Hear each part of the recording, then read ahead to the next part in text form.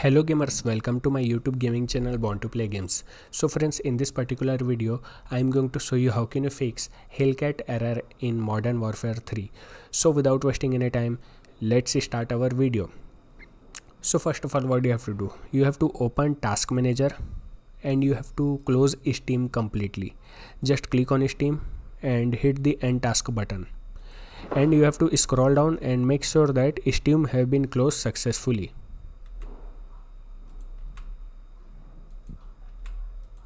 Now what you have to do you have to again launch your game and your error should be fixed now. But if you are still facing same problem then what you have to do you have to go on c drive and go on user.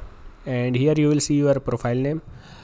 And uh, click on app data then local. And from here you have to delete call of duty folder. And after that you have to relaunch your game and your error should be fixed now. If you are still having same problem and if you are a battle.net user then what you have to do? You have to go on system search and type on it ru and run? And after that here you have to type percent app data percent and hit the ok button. And after that you have to delete battle.net and blizzard entertainment folder. Okay? And after that you have to launch battle.net. You have to launch battle.net and it may ask you to sign in again and it may ask you to uh, do some repair and update. So just do it in order to fix it. And if you are still having same problem then what do you have to do? You have to uh, go offline while launching your game. Just you have to click on go offline option. And after that just you have to again click on go online option.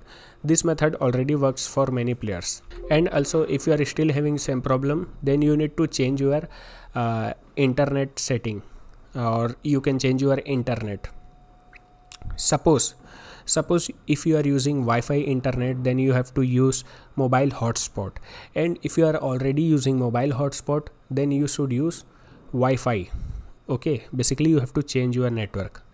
If you are still having same problem then try to connect with any vpn software just change your network.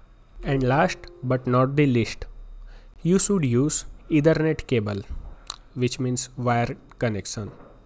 So this is how you can fix your problem easily. Just you have to use ethernet cable instead of wireless connection. So if you got really help by this video then please subscribe my channel. Okay bye bye